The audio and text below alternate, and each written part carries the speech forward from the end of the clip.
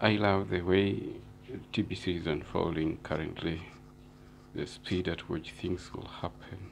I believe it will be lightning speed, the God speed, let me say that, because so much is unfolding. And maybe uh, it is time for divisions to wake up and realize that uh, there is so much that is unfolding. So much is in the making. Very nice things are coming up.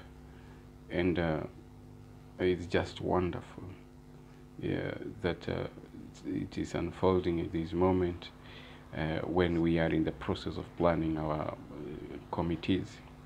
And uh, it is just fantastic. Maybe it's just godly, it's just in order that this came at this moment in time. Having an assembly is a good thing.